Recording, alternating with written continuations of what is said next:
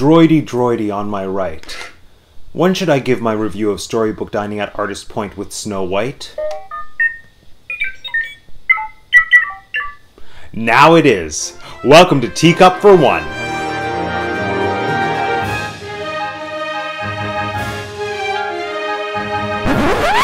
My name is Matt, and I have two degrees. And today, I'm going to live in the past and do my long overdue review of one of the best experiences I had on my recent trip to Walt Disney World, which was not in a theme park, but in fact in a restaurant, but not just any restaurant. I would say one of the most magical restaurants on property. I am, of course, talking about Storybook Dining at Artist Point with Snow White, but that is a mouthful to say the least. So, for the rest of this video, I'm just going to call it the Snow White dinner.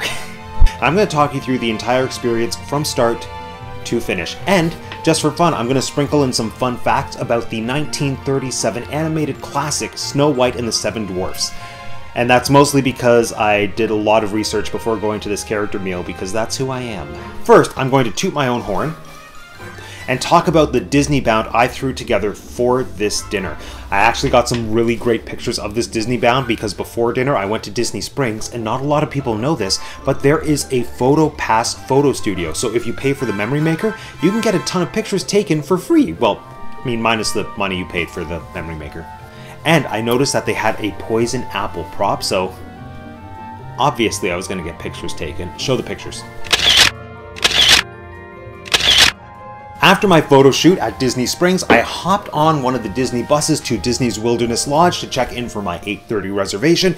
They were running a little behind, but that actually turned out to be an amazing thing because in the area before you uh, make your way into the restaurant, in the check-in area, they have a mini gallery of Disney fine art solely dedicated to Snow White. The uh, curator was actually on site and he told me that this was the largest collection of specifically commissioned Snow White art in the world just because of this character dining experience. And one thing that I noticed looking at the collection was that there was one scene that was just continuously represented by different artists through even different mediums. There were paintings, even sculpture work, and that scene is the Seven Dwarfs walking home across the log while singing Hi Ho. Shamus Culhane, who was the supervising animator on that sequence, said that that was one of the toughest assignments in his entire animation career. Because think about it, it looks relatively straightforward. You just have the seven dwarfs walking across the screen.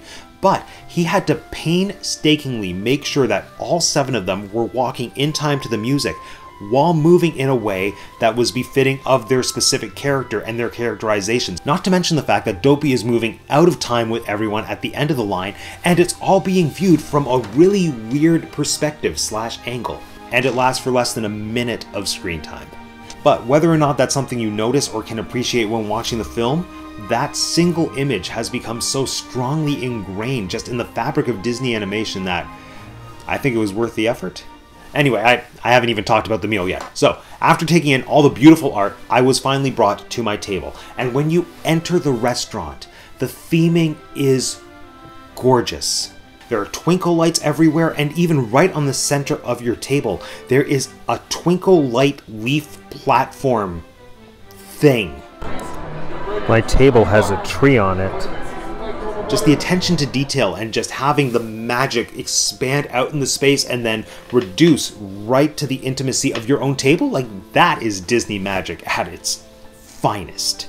Now, because the entire meal is themed around storybook dining, your menu is brought to you in the form of a leather bound storybook. This is how the meal works. The appetizers and desserts are listed as shared, so you have your shared appetizers and shared desserts. But I did look in advance, you can enjoy this experience as a single diner because ultimately they're just on a prefix menu, or as I like to say, a prixy fixie menu. So you have your set appetizers that come out as well as your set desserts, and you get to order off the menu a la carte for your main course. And while you're dining, the characters come around and greet you, and not only do they greet you, they have like mini flash mobs that happen throughout the meal. There was a high Ho sing along, Snow White let us and whistle while you work. There was a processional for the entrance of the evil queen. it was so cool. Also, they don't advertise this, but soft drinks are included. I drank so much Diet Coke. okay, I'm getting ahead of myself. The Prixie Fixie appetizer course. Everything is brought to you in small portions. It's almost like a tasting menu. And for the appetizers, you get a mushroom bisque, a wicked shrimp cocktail, and the hunter's terrain. First, terrain or terrain? I'm going to say terrain, even if that's wrong, because it's like hunters hunt on the terrain. My favorite was the mushroom bisque. The temperature was a little low. I'm not sure if it was meant to be served as a cold soup or not, but regardless, the flavor was awesome and there was a little crispy mushroom on top that was great, and it was served in a mini cauldron. Ah!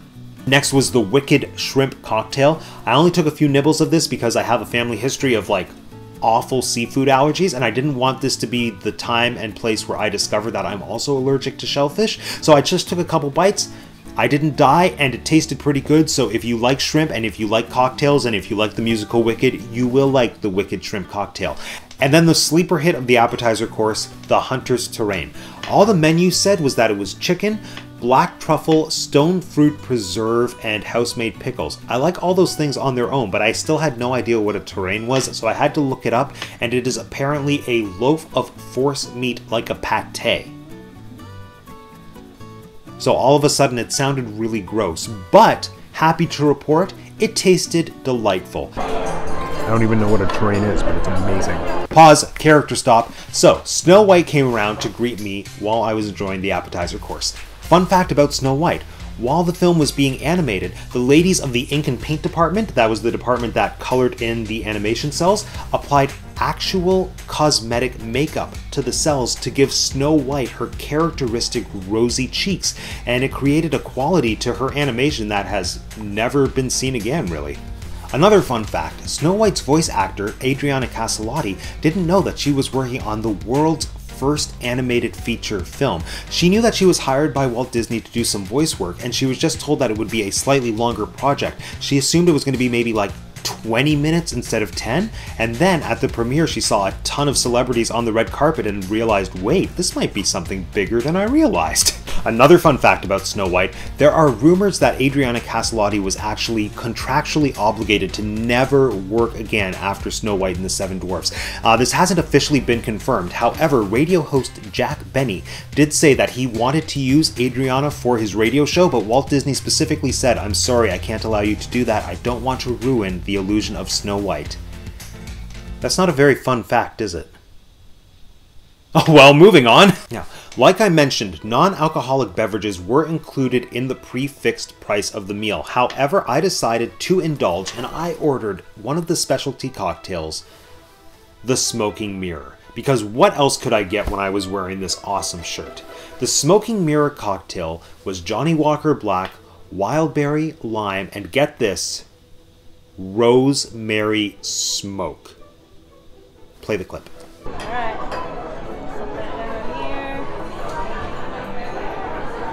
Whoa! So, I mean, obviously, I ordered it for the novelty, but it legitimately tasted great. If you're someone who really loves the smell of campfire, this is like drinking that smell, but not poison. And whilst enjoying the cocktail, I met two of our favorite dwarfs, Dopey and Grumpy.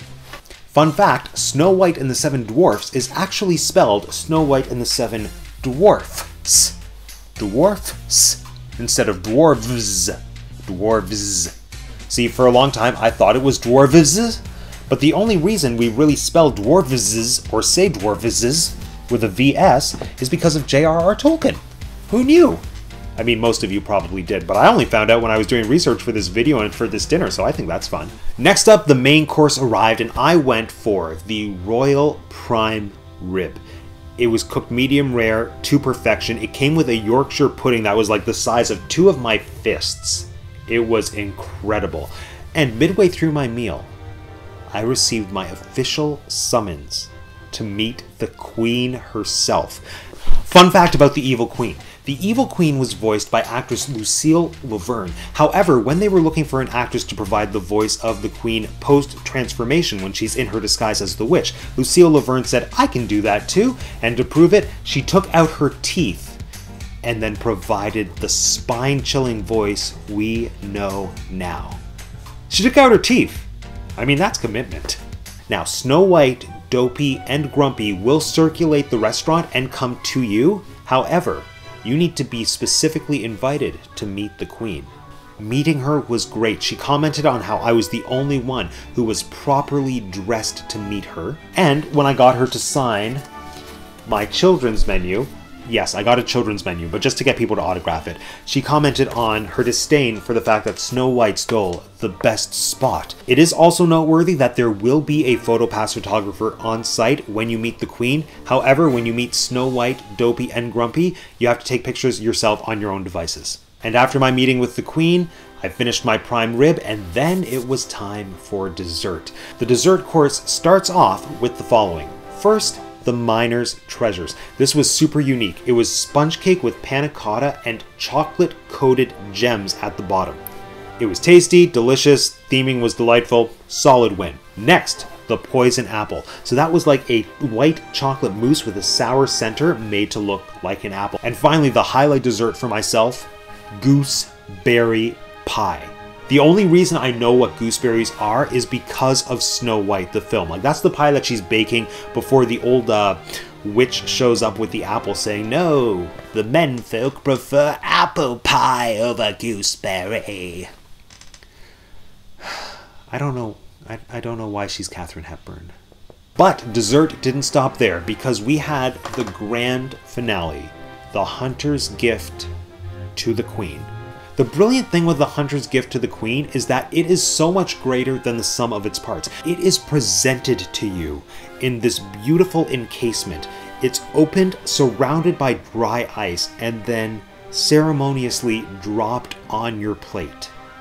It was like, I'm never gonna have popcorn served to me on dry ice again. Like, that was a once in a lifetime thing. It was so cool. All in all, I cannot recommend the Snow White dinner enough. The food is independently delicious. The theming is impeccable. The character interactions are top notch. And all of these things just tie together to create a beautifully unified experience celebrating debatably the most important film in the Walt Disney Company's history. So if you like good food, if you like Disney movies, if you like princesses, if you like dining experiences, you will like this. All right, folks, that concludes another episode of Teacup for One. I would love to know in the comment section down below what other film you would like to see get the storybook dining treatment. For myself, I'm gonna vote Hercules. Imagine a delicious gourmet Greek meal being served while you meet Hercules, Meg, pain and panic, and then you get a special invitation to the underworld to meet Hades, and all the while the muses can be like appearing around singing. You can have a Hercules Zero to Hero sing along. Oh, I should be an Imagineer. Who do I call to make that happen? Thanks for joining us today, everyone. Please don't forget, if you enjoyed this video, consider subscribing to the channel. All you need to do is click on my face. Thanks for joining us again today, everyone. Matt out. Go away.